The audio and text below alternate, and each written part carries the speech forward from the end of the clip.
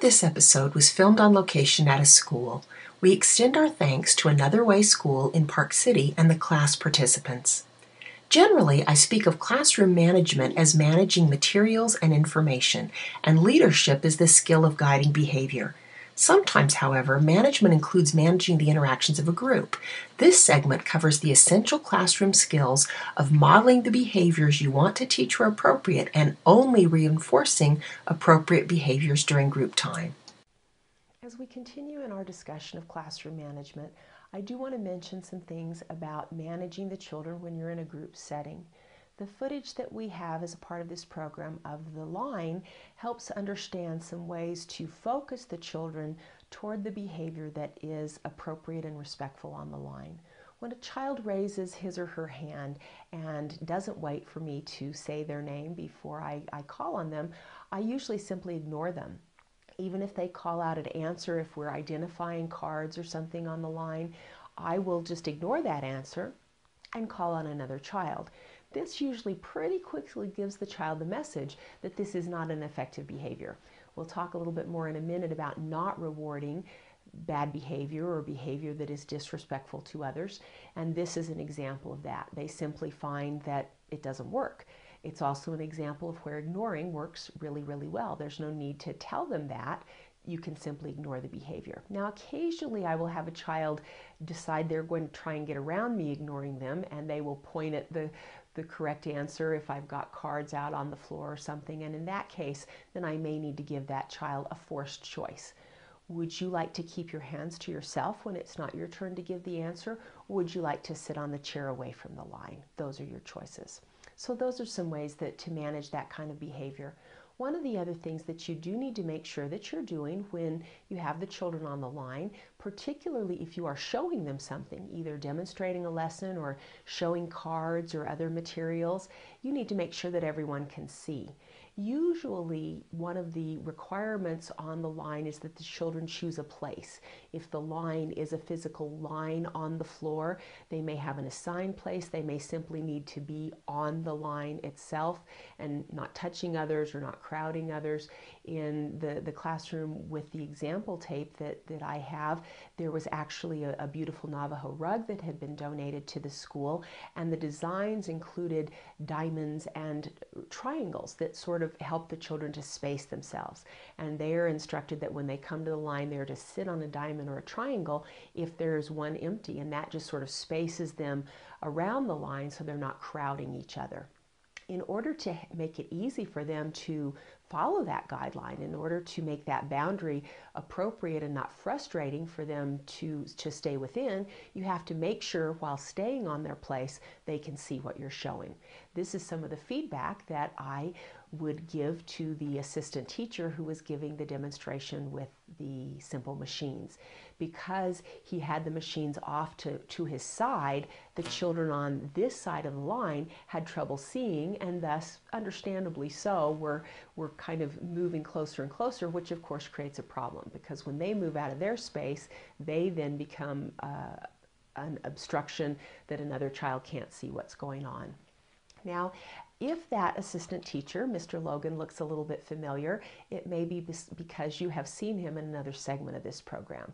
The three year old little boy that was filmed in 1986 is the same person. Um, through a, a, series of events that started with him receiving a hand injury and the school that I was, was a part of needing some staffing, he ended up taking an assist, a temporary assistant teaching position, which was a really interesting and enjoyable and and just all around good happenstance for the children that we both were teaching and for the chance for us to teach together.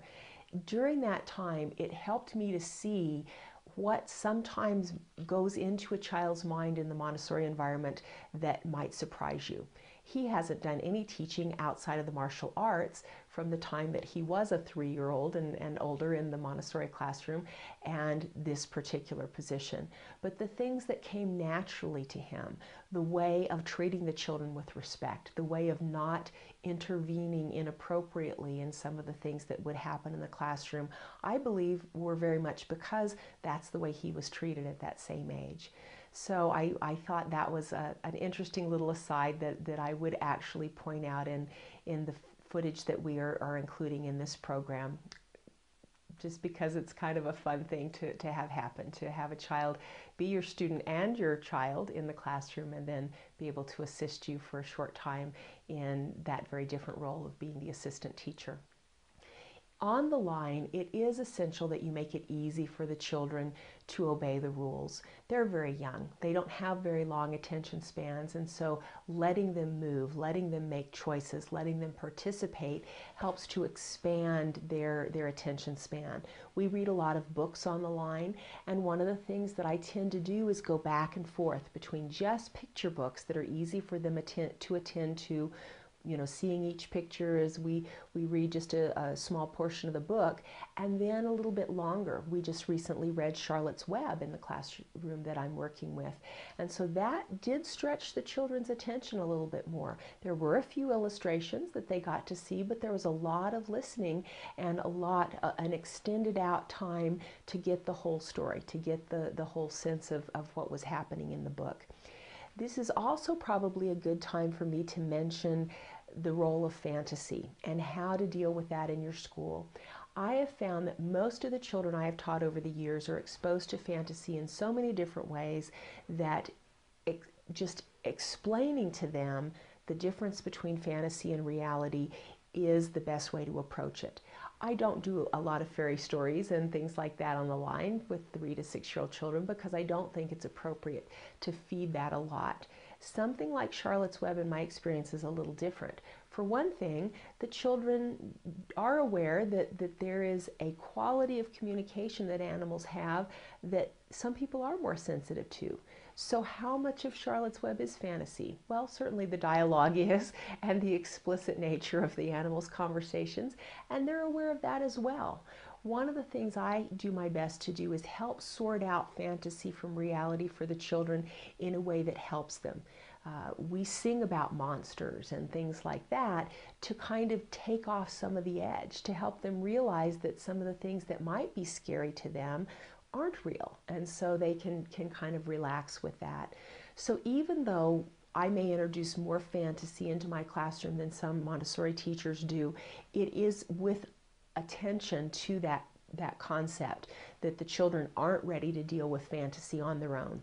They aren't ready to read fairy tales on their own. They, they need uh, a guide to help them sort out what's real and what's not real and what's what and what to do with that, how, how to place that in their minds. Today we are talking about some simple machines. Now these simple machines are what make bigger machines like cranes and dump trucks work. So the first simple machine we're going to talk about is a pulley. So Maggie, I would like you to come over and work on the pulley with me. Okay, first thing I'm going to do is put it over just one of our wheels. On this one until this one comes all the way to the top. Okay, feel how hard you have to pull. Okay, so now we're going to try it with two of our wheels. And now pull on it. See if it makes a difference to have two wheels. Pull on. Does it feel like it goes easier now? Okay. Let's try it with all three wheels. Just pull on it. It goes pretty easy now, doesn't it? So the more wheels we use, the less energy it takes to move our weight from one side to the other. So a pulley is a way to help lift heavy objects without taking as much energy. So that is a pulley. Thank you, Megan. The next simple machine we're going to talk about is called an inclined plane. Can everybody say that? Inclined plane. Thank you. Okay, an inclined plane. Oh, jeez. Awesome. Okay. Now, we have our inclined plane, and an inclined plane is, is a way to generate energy because we have our hill, our hill, and our car will roll down the hill. Now, if we have a steeper hill, our car will go faster because it's a steeper hill. But it also means that more energy is required to move up. So the more steep that our hill is, the more energy required to pull it up, and the more energy created roll back down. Does everyone understand that? Yes. Okay. The next simple machine is the simplest of them all, the wedge. This is a machine called a wedge. A wedge has a skinny end on one end and it gets wider and it is used to move between two objects and separate them. If you notice, when we move it between the two parts of our inclined plane, it separates it. Okay? Just like this. Very simple. Now that we've talked about our inclined plane, let's talk about our screw. Everybody say screw. Screw. Okay. Nicholas, come here for a minute, please. When you look at our screw, can you see that the thread on our screw goes uphill towards the top? It's another inclined plane. Look inside the hole, do those look like they would match up pretty well with this? So when we turn our screw into our block, go ahead and pull on that screw, see if it comes off. Does it come off? Okay, then turn it and see how easy it moves. Okay, so this is a way to hold things together because if it's being pulled, it will hold for a very long time, but it requires very little energy to unscrew our screw. Okay. Been talking about energy a lot, and this is called a gear train. Carter, would you like to come work on the gear- gear train with me? You're going to be the battery of our gear train. You're going to provide the energy, so I'd like you to turn this very slowly and watch what happens to the other wheels. I've done this before. Okay, now turn it fast. Okay, so what does everybody notice about the speed of this wheel compared to the speed of this wheel? When I move it slow, raise your hand and tell me, Maggie. Um, it moves very fast. Now, if I move it fast, it moves fast, but if I move it slow, what happens to the other wheels? Go slow. Exactly. So this is a way to transfer the energy that we use to move this wheel to this wheel. So it's a way to move energy down the gear train. Carter, can you go back to your seat? Okay. Now the last simple machine we're going to talk about is called a lever. It has two parts. Lever. Everybody say lever. Liver. Fulcrum. Fulcrum. The fulcrum is the middle point of our lever. So, Liam, would you like to help me with my lever? Okay, so with these notches, we're going to make a short lever first, and Liam is going to use the lever to pick up the screw. Push down until you pick up the screw. Now, that did that take a lot of energy to pick it up? Okay, so let's try moving our lever on our fulcrum and have a bigger lever and now try to pick it up. Okay, so now we're going to use an even bigger lever and he's going to pick it up again. And so which one was the easiest, Liam? Was that the easiest or was it easier to have a bigger lever to pick it up? Bigger lever. Okay, so the farther the lever goes from our fulcrum, the less energy it takes to lift what is on the other side of our lever. Cool. So these are the basic, simple machines that make up everything that we do. Sound good? Thank you very much for your attention, you guys. Thank you, Mr. Logan. And let me tell you what's going to happen with the simple machines. The simple machines aren't something that we have out in school all the time because they're kind of bulky. They usually stay up on those shelves up there. Have some of you noticed them up there? But what'll happen is next week they will be out on those shelves behind Carter and Nicholas so that you'll be able to use them and experiment with them and, and see how they work. Behind you, Okay? what about that simple? What about Carter, that one? thank you for raising your there hand.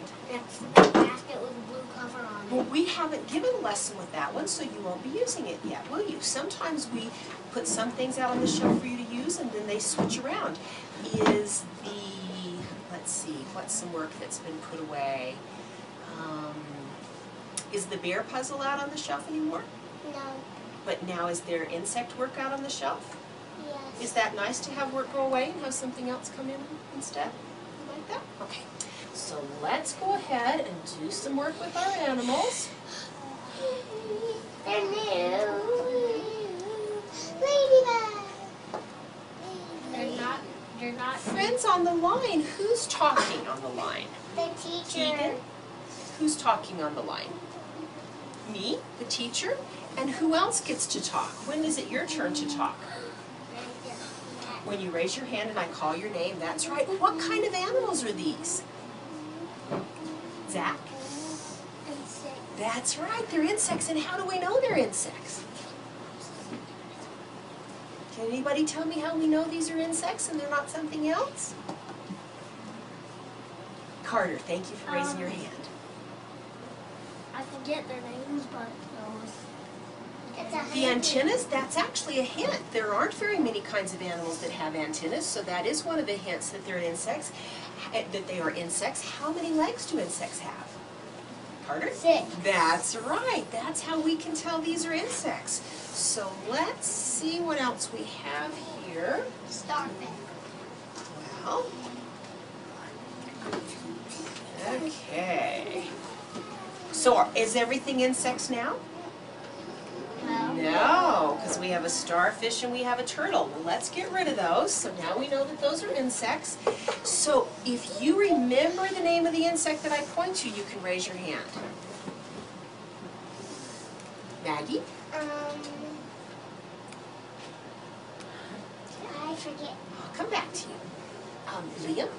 Forget. That is a cricket. And remember, when we look at our cricket and our grasshopper, how do we tell which is the cricket? What tells us that this is the cricket? Jackson? Uh, What, that one. what color is the cricket? Uh, black. Yeah, so it's, if it's black, is it probably a cricket? If it's brown or green, what probably is it? A grasshopper. Grasshopper. What is it if it's brown or green? Reese. What is it if it's brown or green? Maggie, thank you for raising your hand. That's right, it's a grasshopper. Okay, now this is one that we just added into our set, but I bet you know what it is, Carter. Ladybug. That's right, it is a ladybug. How about this one? Zach? Housefly. It is a housefly, and you were very specific. That is the kind of fly it is. So let's go ahead and say our insects together, and then we'll put them away, and we'll go on to our songs. My all right? dragonfly. That's Dragon. That's a old. Friends, we're going to say it all together. So when I point, let's say it all together. Dragonfly. ladybug, housefly, cricket, firefly. Good. You remembered. Cricket. Oh. I messed up. How do I know that's not a cricket? Grasshopper. It is a grasshopper. Cockroach, honeybee. Okay, you're remembering your insects really well. I mean, frog. If someone has a song they'd like to sing, would you raise your hand? Zach, what would you like to sing? The next segment shows how to do a small group phonics or symbols cards lesson, usually with three to five children, but was done with the whole group for ease in filming.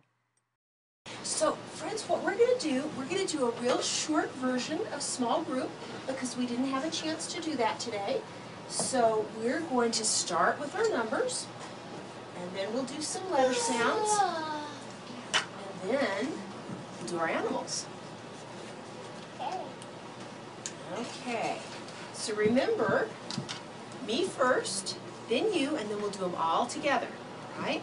Now, if you sit down on your diamonds and your triangles, I'll make sure that you can see from where you are. Friends, should you be touching your friends on the line? Where should your hands be? On your own body or to yourself? Keegan? Oh, were you stretching? Excuse me, I thought you were raising your hand. Okay, so I'm going to say it and then you say it after me. Eight, Eight. one, One. nine, Nine. five, Five. six, Six. three. Please car. It's not a three? No. Okay, I see some people who forgot to sit on the diamonds. I know when we get a little silly, it's easy to forget. I think you're right. I think that is a police car. Well, let's see if we have a number for the next one. Ten. Ten. Ten. Four. Four, Two. two, Three. three, Seven. seven, Eight. eight, Okay, now you do them with me. eight, Eight. One. Nine. Five. Six. Are you watching the numbers? Police car. Police car. Ten. Four. Two.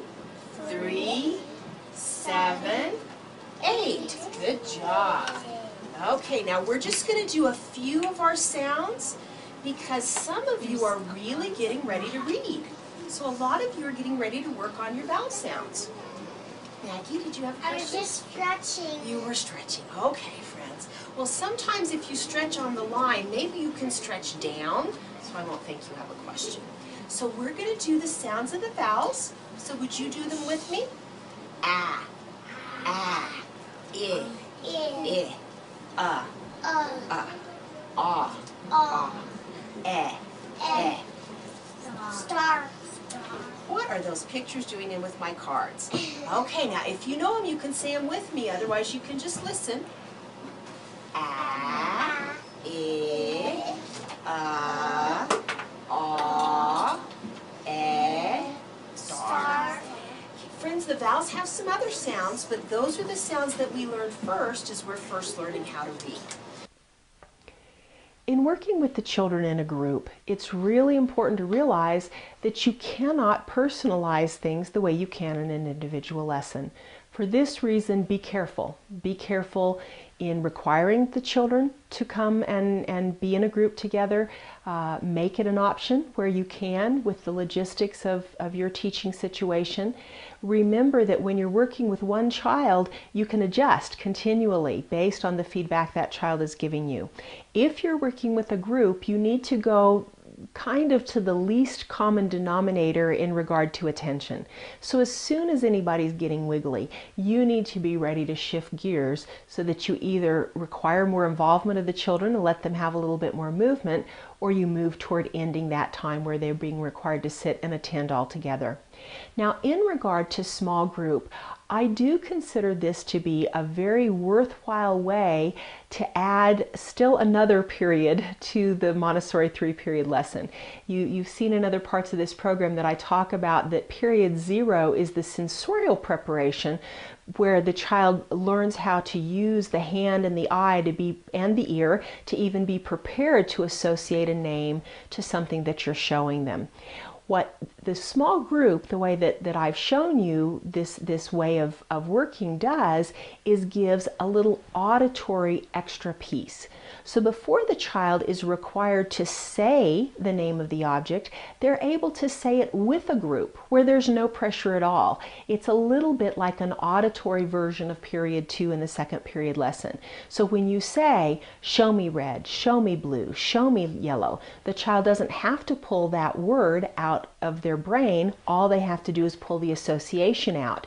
Now, in some ways, small group is period two and a half because they're making those associations, but now they're going to get a little bit of practice in actually saying them, in putting the words together or associating the sound with speaking the sound out with what they're seeing without any pressure of having to make that choice or being able to say, What is this? What is this? T. Before we're asking them to do that, we're saying t altogether. We're practicing that. Again, in some ways, this is a part of what I've referred to in other areas as remedial Montessori. If the children had all that sound preparation that's supposed to come before they're even introduced to the letter symbols, that might not be necessary. For those children that didn't have that preparation, this is another way to just make that that isolation of the new concept even more clear. So there's only a little bit of a stretch a little bit of a challenge that each hap- it happens at each step along the way